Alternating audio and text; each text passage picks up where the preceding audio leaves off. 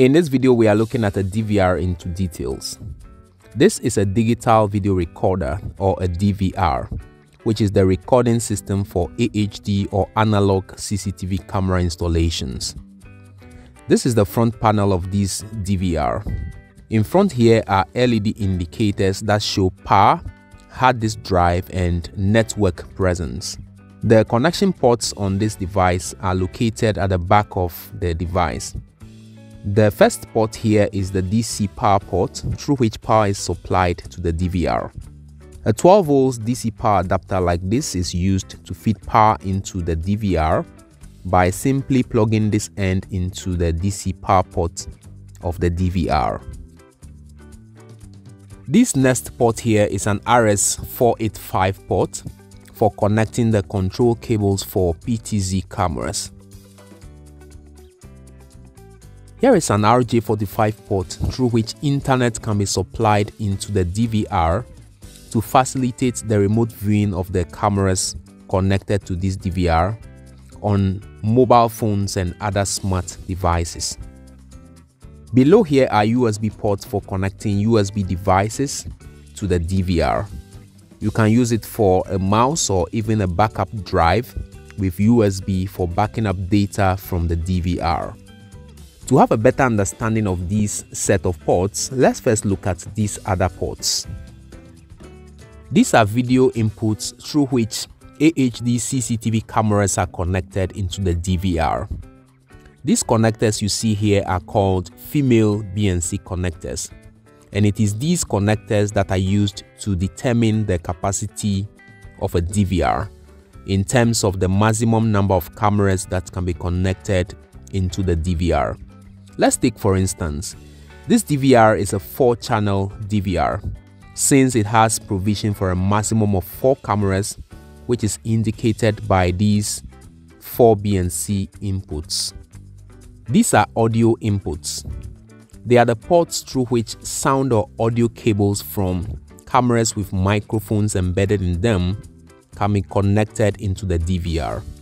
And so these are provisions made in case all four cameras have microphones so that the sound from those cameras can be fed into the DVR. The VGA output here enables you to connect your DVR to a monitor to facilitate the view of your DVR and the camera videos on a monitor which has a VGA input. This is the type of cable that connects to the VGA port. I guess you are familiar with this type of cable. There is also this output which is the HD output where you can connect an HDMI cable so that you can have your DVR connected to a TV screen or any other screen that has an HDMI input using the HDMI cable. This port is where you connect a speaker in order to hear sound from cameras that have microphone. Let's now look at the interior part of the DVR because you will most definitely need to install a hard disk drive into the DVR. So we'll open the DVR by losing the screws around it.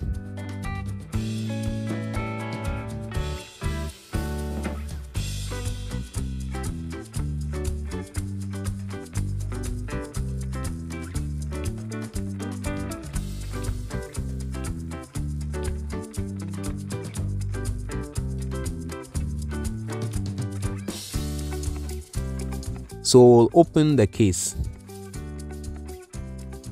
As you can see, there is no hard disk drive in the DVR currently, and this is exactly how it comes when you purchase it new.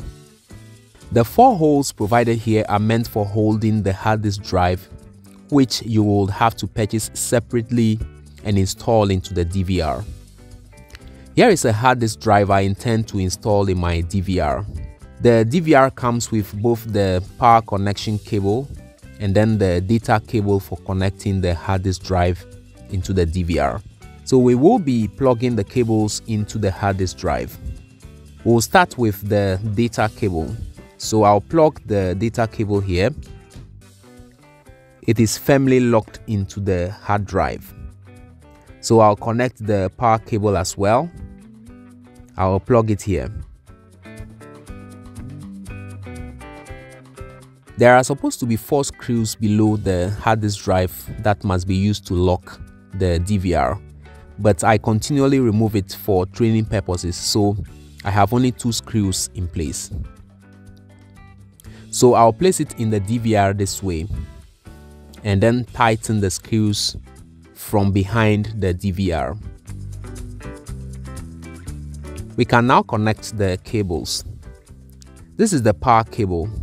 It goes here, push it to lock. And then the data connection goes here.